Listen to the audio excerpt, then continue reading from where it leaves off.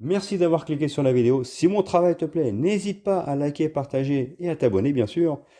Et pour le reste, j'espère que la vidéo te plaira. A plus Bonjour à toutes et à tous, c'est Stélé68, j'espère que vous allez bien les amis. Aujourd'hui, j'ai voulu faire une vidéo sur ce jeu extraordinaire qui s'appelle Star Wars Jedi Fallen Order.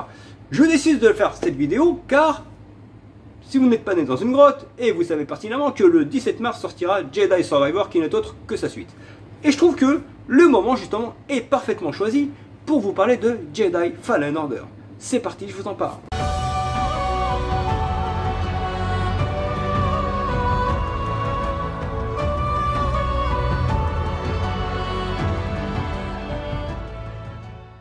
Alors les amis, ce Star Wars Jedi Fallen Order hein, d'Electronic Arts euh, est tout simplement magistral. Parce que c'est vrai que lors des premières annonces qu'on avait été annoncées à l'E3, le jeu me semblait sympa, mais moi je pensais que ce serait un ersatz de Star Wars comme d'habitude, un simple jeu d'action où tu avances, tu tapes et ça s'arrête là.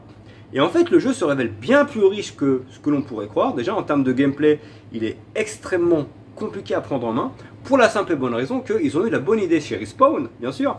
Respawn, un studio qui a fait euh, entre autres euh, Titanfall, voilà, qui ont fait les jeux Titanfall, bien entendu, qui sont des excellents jeux. Le premier était plus axé multi, le deuxième avait une très bonne campagne solo. Donc du coup, le fait que euh, Redfall, enfin Redfall, Titanfall 2 avait cette campagne solo plus le mode multi, en faisait un jeu vraiment, vraiment très bon, vraiment excellent. Et donc, ils sont attelés à faire ce Star Wars. Déjà, ce qui est bien, c'est que euh, c'est un personnage inconnu, c'est un nouveau personnage que l'on a dans le jeu, d'accord? Et l'aventure est quand même assez euh, intéressante sur le, sur le plan de l'univers, bien sûr, mais même scénaristiquement, parce que pour moi, il s'embranche bien dans l'univers des films, voire des séries Star Wars. Et qui plus est, ce qui est intéressant, c'est la manière dont ils ont fait le jeu. Pour moi, il a trois phases de ce jeu.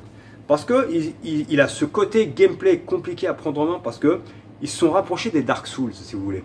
Euh, il faut faire très attention à notre manière de jouer, il ne faut pas juste spammer le bouton, il faut gérer entre le contre, la frappe, mais attention parce qu'il y a une jauge d'endurance aussi, et une jauge de force. Quand on utilise la force, on a une jauge en dessous. Donc, il faut réussir à mixer tout cela, ce qui fait que le jeu en fait a un gameplay plutôt Dark Soulesque, et ça se voit même dans l'architecture des niveaux, parce que on a une zone en fait pour méditer, mais par moment, euh, on fait attention parce que si on meurt, on reprend dans cette zone. Donc si tu étais euh, bien avancé, tu reprends à cette zone-là. C'est plutôt compliqué, c'est plutôt chiant. Mais on a des raccourcis façon Dark Souls justement, où euh, on peut ouvrir par exemple un, passage qui nous permet, via un autre passage, d'arriver à cet endroit-là pour pouvoir re-sauvegarder. Sauf qu'on a gagné tout le temps qu'on avait fait précédemment en faisant tout un détour, alors qu'on peut repasser par ce passage, on va dire, par ce raccourci. Ce point-là. En termes de gameplay, c'est fun. Euh, je vous dis, c'est technique, c'est jouissif. Graphiquement, l'optimisation Series X est extraordinaire. Le jeu en met plein la tête. Il est magnifique techniquement. On sent qu'il y a un vrai travail d'architecture de la part des euh, développeurs. Le jeu est techniquement au top, d'accord? Bon, le perso, Cal, je le trouve pas exceptionnel dans, son cara design. Il manque un peu de charisme. Mais ça va en fait, c'est pas non plus dérangeant, on s'y fait, en fait au final on s'y attache malgré tout, donc euh, dans l'ensemble pas mal, c'est pas grave. Euh, et je vous dis, ce jeu a plusieurs phases. Je dis en trois phases. Donc la phase Dark Souls, bien entendu. Mais également une deuxième phase, moi, qui me semble très intéressante. C'est ce côté un peu Tomb Raider. Tomb Raider, Uncharted, si vous voulez. Parce que dans le jeu, on a des tombeaux. Il faut réussir à sortir du tombeau en réalisant des énigmes. Et c'est toujours très pertinent parce que c'est jamais la même chose en fait. Et bah, je trouve que le fait d'avoir implémenté cela dans le jeu, bah, ça change le gameplay, ça amène quelque chose de nouveau et c'est extrêmement intéressant. Donc ce côté-là, moi je dis banco, super, franchement. Je m'y attendais pas, je pensais que ce serait juste un jeu de Star Wars du tape. Bah, ça pose un peu le, rythme du jeu et en plus ça fait travailler les ménages. Excellent choix, très très bon, franchement, vraiment très bon. Et après, bien sûr, bien entendu, hein, il y a la phase à la Star Wars où en fait on se tape avec euh, les sabres laser, euh, des phases de plateforme encore à la Tomb Raider où justement avec la force on peut ralentir des plateformes, on passe d'un endroit à un autre, mais il faut faire attention. C'est ouais, ce jeu a plusieurs gameplays qui sont relativement intéressants, je vous dis. Puis même scénaristiquement, euh, quand on apprend ses pouvoirs, en fait, on vit les flashbacks de Cal quand il était gamin et qu'il apprenait euh, tel pouvoir de la force, tel pouvoir de la force. Eh ben, c'est un jeu fun, je vous dis.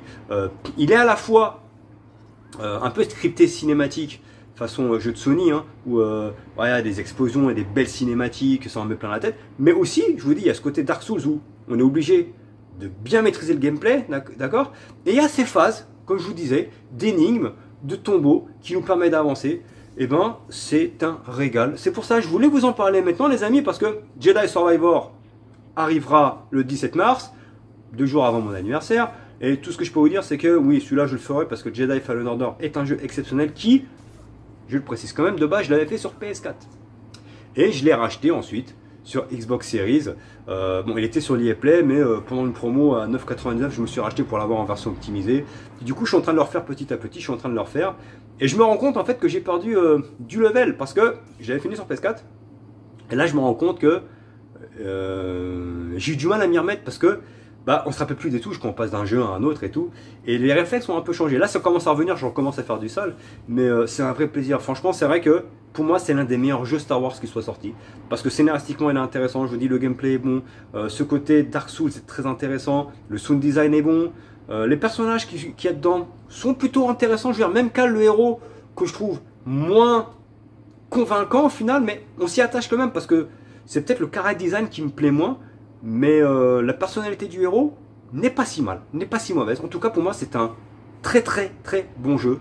Euh, une très très belle surprise parce que, comment dirais-je, c'est l'un des meilleurs jeux Star Wars, mais aussi l'un des meilleurs jeux d'action-aventure de ces dernières années, selon moi. Ça reste subjectif, bien entendu. En tout cas, j'espère que ça vous a plu, les amis. Likez, partagez et abonnez-vous. Ciao